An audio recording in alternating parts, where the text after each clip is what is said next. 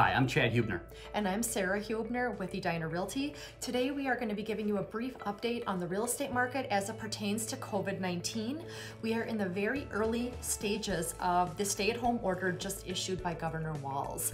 And at this time, we're beginning to get a lot of inquiries from people, calls, texts, emails, asking us if the real estate market is shut down as a result of the stay-at-home order. Um, the answer to that is no, we are not shut down. Um, part of Governor uh, Walz is uh, executive order was real estate is considered an essential service. Um, that means real estate, uh, what we do, buying and selling, helping buyers and sellers. Um, the mortgage companies are fully operational, title companies are fully operational, and affiliated services. Now that's that's something that we do. Um, that are some unknown questions regarding movers and such like that, but we're um, finding more and more about that every day. Yeah.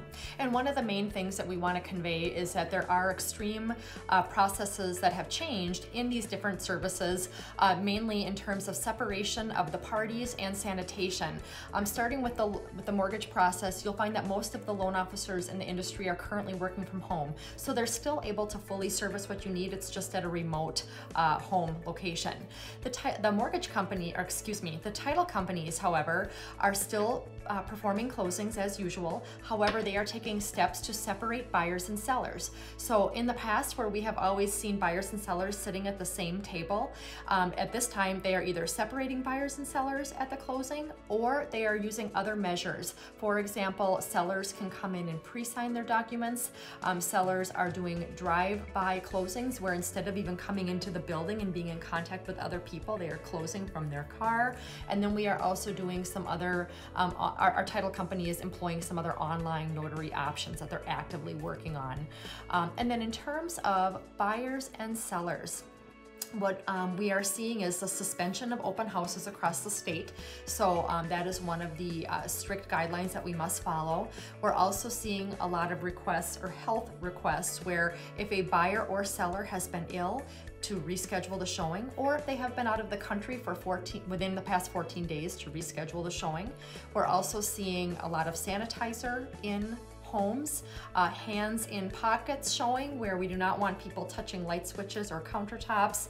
Basically leave the house as you found it.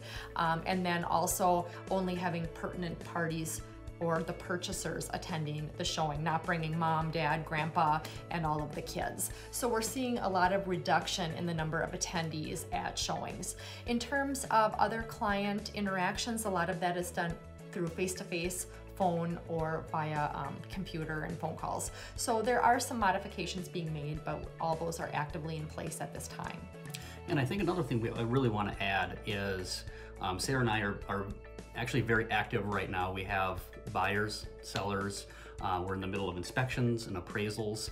Um, so we really want to, you know, point out to you if you have any specific questions on what's actually going on in the market, is to contact us. Mm-hmm. Um, you see a lot of articles, you see a lot of Facebook posts from people um, that you don't know are, are, completely accurate. So if you want to have any specific questions on what's actually happening in our market, let us know. Mm-hmm. Um, one other thing too is is with Edina Realty and um, our leadership team, our legal team, um, they're updating us regularly on what's going on on, the local level, the state level, the national level, on kind of best practices as well. Um, and they're updating us very frequently on that. So it's, it's important to um, get information from reliable sources. And I, and I'd really like you to contact us if you have any specific questions on our local market.